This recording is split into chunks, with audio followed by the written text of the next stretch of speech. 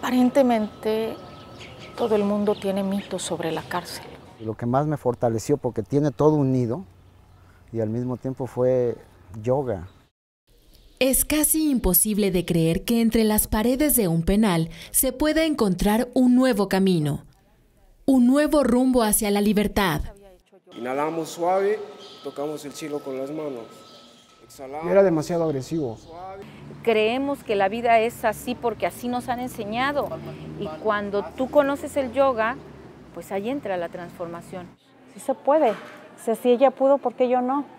Om Namah Shivaya Gurave. Libertad en prisión.